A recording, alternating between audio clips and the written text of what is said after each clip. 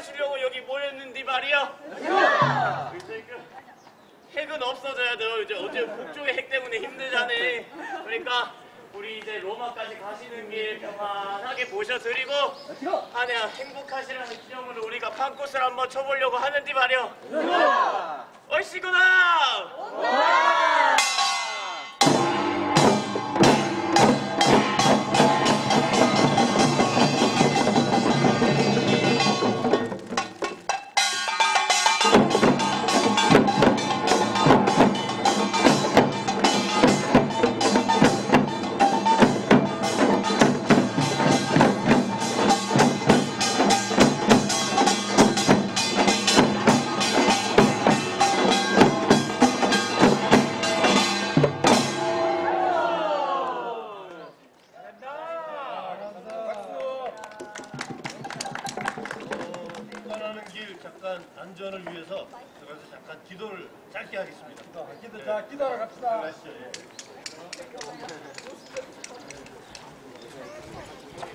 어, 이 장소는 뭐 성공회라는 작은 교회의 그 교회입니다만은 우리 우리나라 그 현대사에서 중요한 것은 지금 풍물패가 춤을 췄던 그 마당 거기서 좀 옆- 옆으로 가면 안쪽 마당이 있는데요.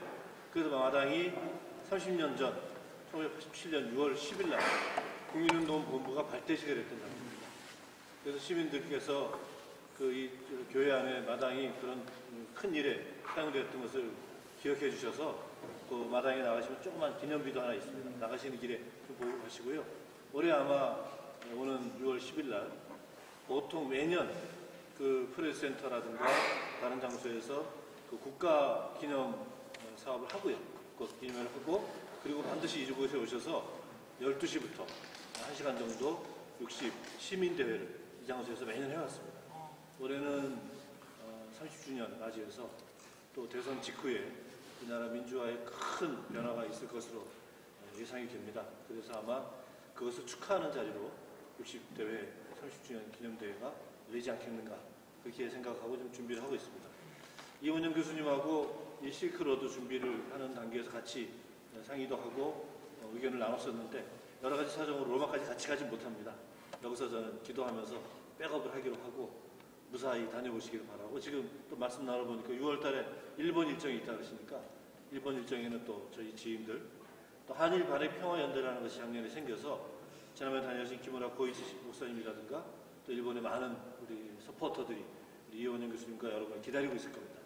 그분들 만나러 가는 길도 어, 잘 이루어지길 바라고요. 오늘 대표단이 이, 이 교수님 대표단이신가요? 아, 예. 지금 잠깐 색동 색동 스토를 하나 준비했습니다. 대표, 대표님이 로마까지 갔다 오시는 동안에 이걸 좀 걸고 한국 그 어? 한국의 이미지를 가지고 로마까지 다녀오시라고 제가 기념으로 걸어드리려고 준비를 했습니다. 이 교수님 걸어드리면 되겠죠? 잘 다녀오십시오. 예, 그렇죠. 촬- 촬영 기회를 주셔서 사진 촬영까지.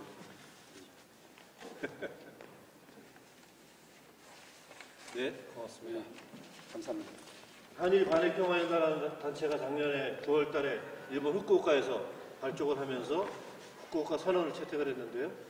어, 그 여러 가지 탈핵 반핵하는 운- 단체가 많이 있는데 그 단체는 좀 특별한 목적을 가지고 시작을 했습니다. 첫 번째는 합천에 있는 그 한국 피폭자들의 재판을 지원하기로 했어요.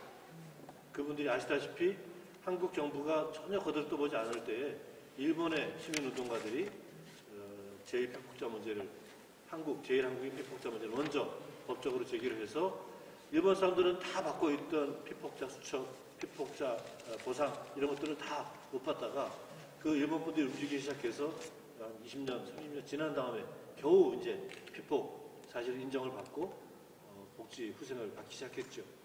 근데 그 좀그 차원을 좀 넘어서서 한국 정부가 정식으로 일본 정부에 그 재판으로 소송을 제기해서 정식 배, 대- 배상을 받는 문제가 하나 있고요.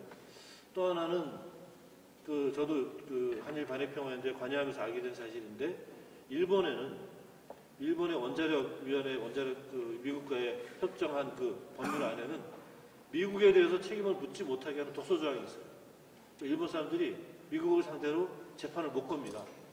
대신해서 한국이 좀 도와달라. 그래서 원전을 만드는데 관여한 기업들, 그 기업들 대상으로 기업의 원전 제조 책임을 묻는 소위 BDS라고 해서 어, 어, 보이콧, 그다음에 다이베스, 다이베스션, 투자 회수, 생션, 제재, 시민사회가 기업에 대해서 어, 반대 운동을 하자. 근데 기업이 두려워하는 게 이미지가 나빠지고 그 자기들의 생산 제품이 거부당하고 판매가 안 되는 것을 가장 두려워하니까 어, 시민들이 힘을 합쳐서 한일이 합쳐서 또 나아가서는 아시아의 핵무기를 핵 발전소를 가진 여러 나라들이 뭐 타이완이라든가 다 좀 협력을 해서 그런 방법으로 시민들이 제기할 문제가 있겠다. 그게 이제 두 번째고요.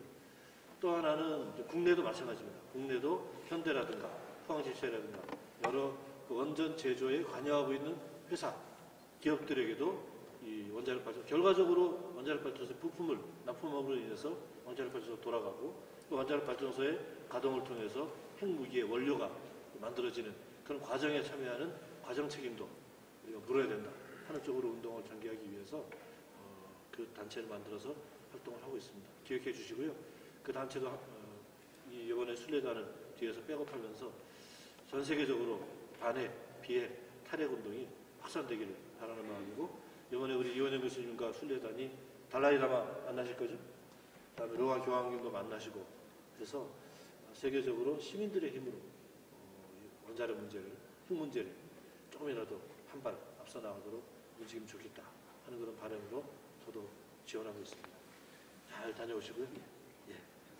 그 안전을 기원하겠습니다. 뭐 종교가 다 다를 테니까 잠깐 한 30초만 묵념하는 묵상하는 것으로 기도를 대신하겠습니다.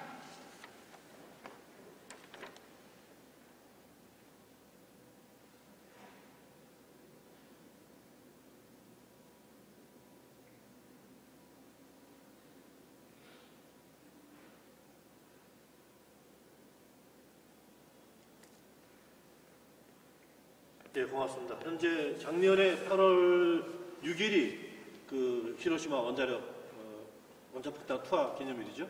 8월 9일이 나가사키 투하 기념일- 기념일이라서 합천에서는 매년 8월 6일을 전후로 합천 피폭 어, 문화제라는 게 열립니다. 그래서 그 날짜에 맞춰서 작년에도 한일 국제 포럼을 열었고요. 올해도 한일 국제 포럼은 예정이 되어 있고 좀 욕심 같아서는 한국, 일본만이 아니고 미국이나 유럽의 학자들 좀 초대를 해서 어, 이 문제, 어, 원자력 문제, 핵 문제를 좀 얘기를 하고 싶은데 어, 아직까지는 조금 유동성이 있습니다. 날짜는 정해져 있습니다. 8월 어, 3, 4, 5, 6 합천에서 5일이 아마 토요일일 텐데요. 토요일 날 어, 문화제가 있고 6일 날 당일 날 합천의 그 피폭 기념관 어, 오픈 개관식이 또 예정이 되어 있습니다. 우리 멤버 중에 홍선희 선생님도 여기 순례단에 같이 참여하셨네. 홍선희 선생님이라든가 그동안 시민사회에서 피폭 문제 또 많이 관여할 분들도 같이 참여하고 있습니다. 기억하시고요. 날짜가 확정되면 여러 가지 SNS를 통해서 또 공지를 하겠습니다. 그래서 가셔서 지금 피폭 2세들이 주로 일을 하고 있는데요. 그분들이 미국을 상대로 재판을 걸고 싶은데 재판을 하려면 변호사도 필요하고 돈도 필요하고 서포터가 필요한데 자기도 힘만 가지고 어렵다고 그래서 지금 어, 대구 지역의 최봉태 변호사를 중심으로 변호인 팀도 꾸릴 예정 민변 쪽에서도 참여할 예정입니다. 좀 일이 잘 진행될 수 있도록 한편에서는 로마를 향해서 전 세계의 바람을 몰것 같지만 한편에서는 정작 그 몸으로 피해를 입은 분들을 위한 구체적인 법적인 조치도 동시에 진행이 되지 않겠나 그런 생각을 가지고 일을 하고 있습니다. 하여튼 어, 건강히 다녀오시고 지금 사진. 네, 좋은 바라겠습니다. 저희 밖에서. 어, 여기서 하시죠. 뭐. 네, 자, 좀 앞으로 나오셔서 우리 풍물패도 좀 잠깐 나오시죠. 자, 보여드리겠습니다. 아, 생명 혈액 시크로드 그 완주 만세입니다. 생명